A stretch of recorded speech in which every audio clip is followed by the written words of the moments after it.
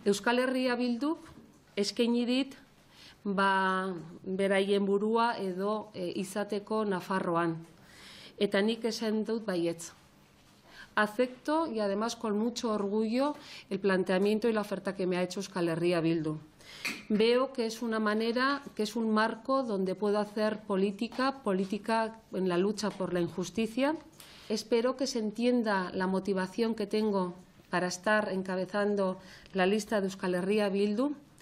Y también me crea inquietud porque tampoco quiero que para nada incida en el trabajo que hasta ahora hemos hecho como Gurasoak.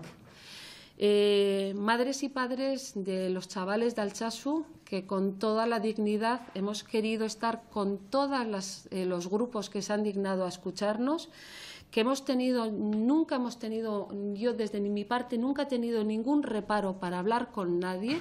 Es más, me parece que la palabra es una de las mejores herramientas para el entendimiento y mientras haya posibilidad de escucha, me parece que es una de las cosas que más hay que cultivar.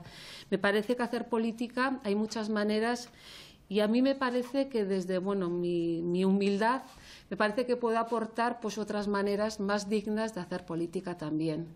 Es un reto importante, desde luego. Espero hacerlo lo mejor que pueda. Desde luego que cuento con gente que me va a ayudar, con gente que me va a cuidar, no tengo ninguna duda. Gente, pues en Euskal Herria Bildu, también sé que eh, tengo gente que hasta ahora también me ha estado cuidando, sé que mi familia va a estar ahí, que me van a ayudar un montón. Eh, hoy hablaba con Adur y me decía, ama aurrera, aurrera arequín y eso es lo, también lo que voy a mostrar.